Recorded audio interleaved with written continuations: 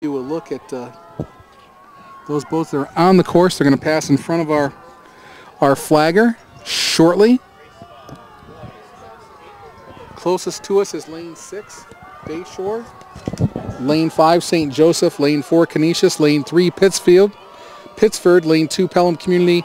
Lane one, Fairport. In front of our flagger, by a boat length, but walking.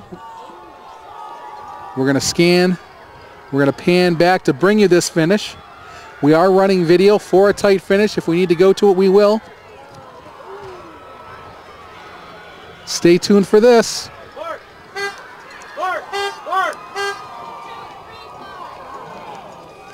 The call is Pelham, Pittsford, St. Joseph's Collegiate, followed by Canisius A.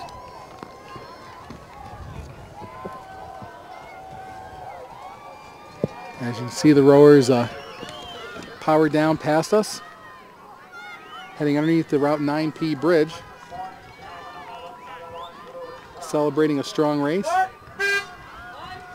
Fairport comes through in lane one.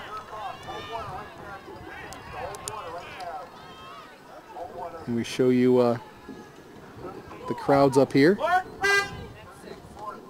on Route 9P, and that last horn was for Bayshore. The fans above Route 9P.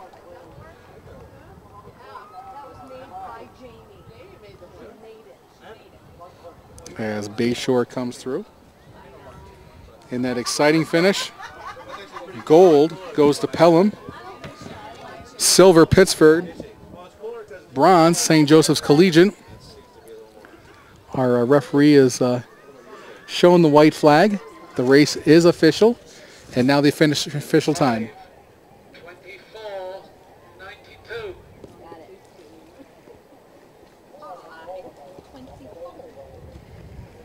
As they will then uh, return back up the course as another race is already set to come down. Stanley Hootie with the Saratoga Community News bringing you the Boys Novice 8 New York State Championship Final with your gold medal going to Pelham Community, followed by Pittsford Crew and St. Joe's Collegiate.